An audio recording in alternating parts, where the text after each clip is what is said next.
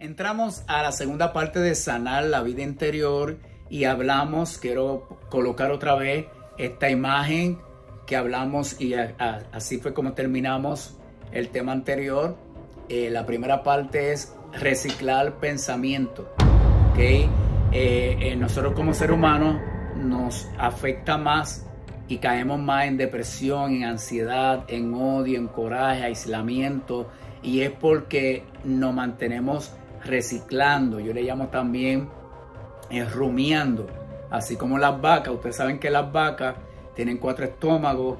Comen, comen, se sientan y después comienzan a masticar, a rumiar. Entonces hay seres humanos que su vida no es feliz porque se mantienen que rumiando lo que me hicieron, pero ese desgraciado, pero ¿por qué? Y ese jefe del trabajo, si yo lo hice bien, ¿por qué me votó? Eh, ¿Entiendes? ¿Por qué ese marido? ¿Por qué esa mujer? Eh, ¿Por qué ese miembro de iglesia? ¿Sabes? Eh, nos, pasamos rumiando, ¿ok? Rumiando diferentes tipos de pensamientos, de situaciones delicadas o, fuertes que nos pasaron. Entonces, Ahora vamos a entrar de lleno. Este, esta última parte no va a ser larga. Entramos al ABC psicológico. Que el ABC, ¿cómo, cómo podemos vencer nuestros traumas del pasado. Cómo podemos este, lograr ser feliz. ¿Usted quiere ser feliz?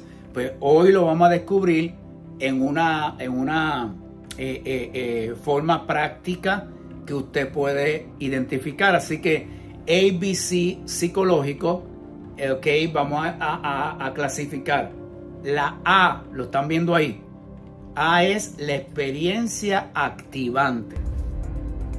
¿Qué es la? La experiencia activante, lo que provocó el impacto. ¿Ok? Podemos hablar de Rubén, que fue el, el capítulo anterior.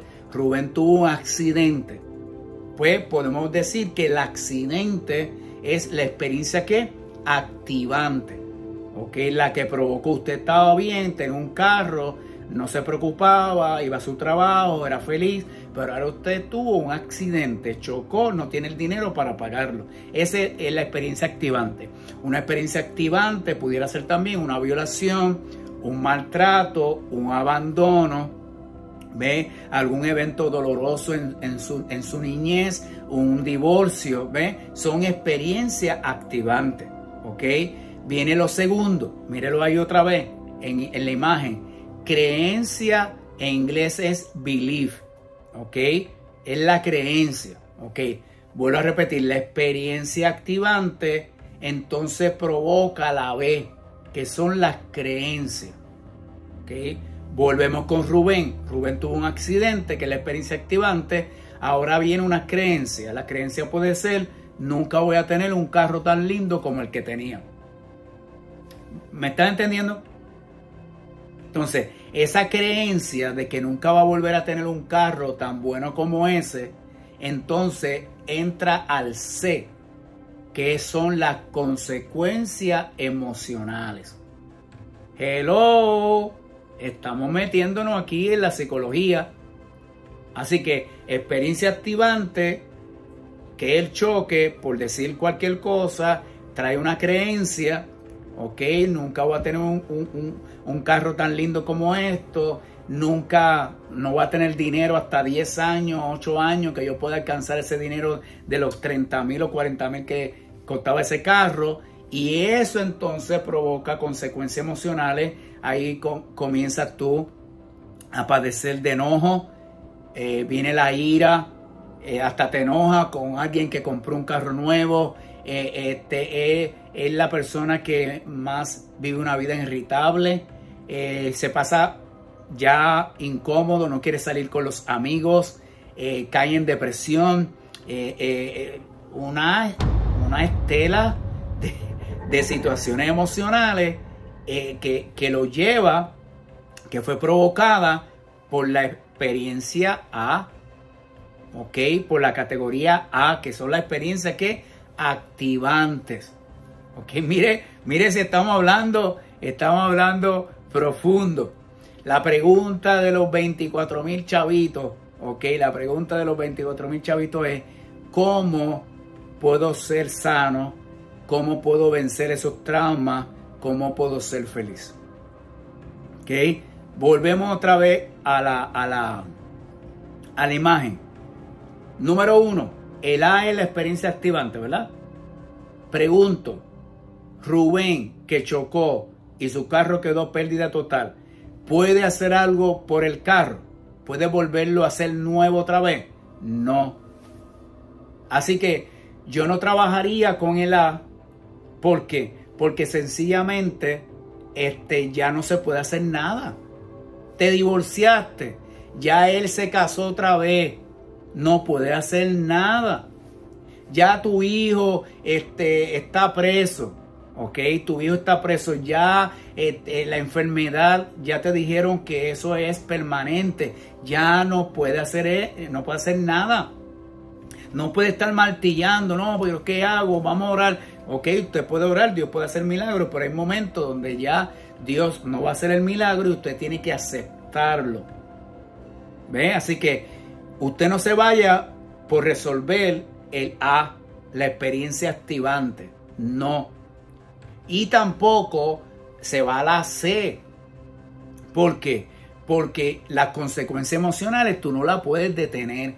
¿Cómo tú puedes detener o, vencer las consecuencias emocionales?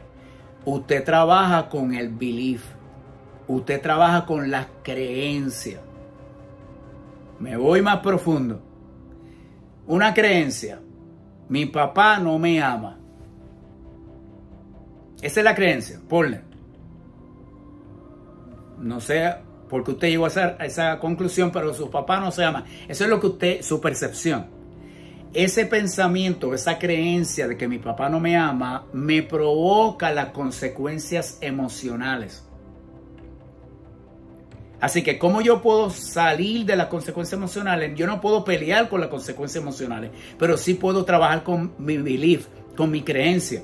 ¿Y cómo la voy a trabajar? Sentándome con mi papá me siento con mi papá y le digo, papi, yo estoy sintiendo, llevo años sufriendo con esto y yo pienso que tú no me amas. Quizás te va a sorprender de que tu papá te diga, hija, ¿qué tú dices? No, no, si yo te amo con todo mi corazón y empieza a recordarte, hello, empieza a recordarte tantos momentos que te cuidó, que te amó, cuando estuvo en el hospital este, contigo y se dormía allí. Tú no te recuerdas de eso, tú solamente te recordaste o supuestamente tenía en tu mente que tu papá no te amaba. Hello, no te amaba. Ahora descubres porque enfrentaste tu pasado o enfrentaste lo que tú aparentemente creías y ahora tu papá te clarifica y te dice, no, si hay alguien que amo es a ti. Amo a, mi, a, a, tus hermanos también, yo los amo a todos por separado y los amo con todo mi corazón. Entonces, ¿qué va a pasar con las consecuencias emocionales? Se desaparecen. Miren cuán profundo es sanar el corazón y la vida. Desde ese momento, usted va a decir, wow, tantos años sufriendo por algo que yo creía que estaba mal y yo estaba mal. Ahora entiendo que mi papá me ama, entonces ahora empieza a restablecerse la relación otra vez. Ahora usted, antes usted no quería ir a la casa de su papá por lo que usted sentía, ahora usted quiere estar cada semana por lo menos un rato viendo a su papá. Miren a ver si me están entendiendo. Estamos, este tema final, final de esta serie es para que realmente sea feliz. Como único tú vas a ver la verdad y se le enfrenta. Como único tú vas a ver la verdad si tienes una mente madura y no eres, no tiene inteligencia eh, eh, eh, solamente emocional, sino que tú puedes trabajar en tu vida. Te estoy dando la clave gratis, gratis en el canal de YouTube, gratis para que tú seas feliz en el nombre de Jesús. Por eso, Hoy yo te suplico, por favor, usted siga, sigue yendo a la iglesia, usted sigue orando, usted sigue trabajando en la iglesia, pero si usted nota que aún aceptando a Cristo, usted nota que aún yendo a la iglesia todavía su carácter, tu forma de ser, eh, eh, las heridas todavía están ahí permanentes, traumas, es porque usted no ha descubierto la clave que te estamos dando hoy para que usted sea sano en el nombre de Jesús. Así que vuelvo otra vez a presentar en pantalla el ABC psicológico. Es los traumas vienen por experiencias activantes. Las experiencias activantes provocan eh, una creencia dentro de las percepciones que, vienen a, a, la vida de uno. Y esas percepciones, si son buenas, pues trae consecuencias emocionales buenas pero si son malas, entonces trae consecuencias emocionales malas, como la ansiedad, el odio eh, este, y todos estos elementos que hemos hablado. Así que por eso trabajamos con el modelo conductual cognitivo. Cuando yo trabajo con una persona, lo primero que yo hago es escuchar y la persona empieza a abrir toda su historial, sea de la niñez o del presente, basado a la información este servidor trabaja o con, o con llevarte al pasado, a tu niñez, o entrar a tu presente y como quiera tengo que ir a tu pasado porque hay muchas vertientes allí que fueron factores de lo que tú eres hoy en día. Según la percepción de las cosas, así serán las reacciones y comportamientos de las personas. Así que no sé si le está gustando por favor, déle share estos temas. Este, me hubiese querido yo mismo que alguien me mandara un tema de esto para poder sanar el corazón. Yo tuve que, que batallar mucho, tuve que estudiar, ¿ok? Así que la gente dice, no, pero estu, estu, estudió para trabajar en un poco la psicología, un consejero clínico, sí, pero el primer, el primer este, beneficiado soy yo, que, que fui sanado y viendo otros ángulos de la vida, en mi propia vida, mi propia experiencia y eventos dolorosos en la vida. Así que el confiar en Dios produce ánimo para luchar con aquellas cosas que nos perturban hasta vencerlas. Así que la confianza en Dios, la fe en Dios, eh, eh, la fe eh, por el oír la palabra. Así que lea la Biblia, ore, confíe en Dios, descanse en Dios y usted verá que esas perturbaciones se van a acabar. Y también combínelo con ayuda profesional este, y ayuda espiritual. ¿Cómo debo trabajar para lograrlo? Número uno, apúntalo por ahí y míralo en pantalla. Reconoce que estás herido. Reconoce que estás herido. Por favor, la persona que me dice a mí, no, yo estoy bien. No, no, ya yo superé eso. La persona que te lo dice casi nunca lo superó. ¿Entiendes? ¿Sabe? Eh, hay personas que están en una negación, que no quieren aceptar que tienen trauma, aceptar que tienen herida. ¿Ok? Por eso es que David en Salmo 103, 1 y 2 dice, bendice alma mía Jehová, bendiga todo mi ser su santo nombre, bendice alma mía, oh Jehová, y no olvide ninguno de tus beneficios.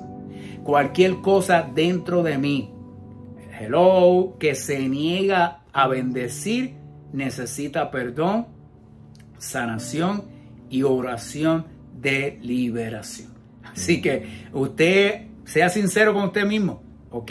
Y por último, primera de Pedro 5.7 dice, echando toda vuestra ansiedad sobre Él, porque Él tiene cuidado de vosotros. Que Dios te bendiga, que Dios te guarde, que Dios te, te dé una sanación que pueda olvidar el pasado y cuando vuelva a reprender en el nombre de Jesús, eh, busca como hoy el ABC, maneje no la, la consecuencia de lo que te pasó, no las emociones, eh, trabaja con tus creencias, trabaja con tus percepciones y tú verás que cuando sane y maneje tus percepciones, se arreglarán tu vida emocional. Dios te bendiga, Dios te guarde.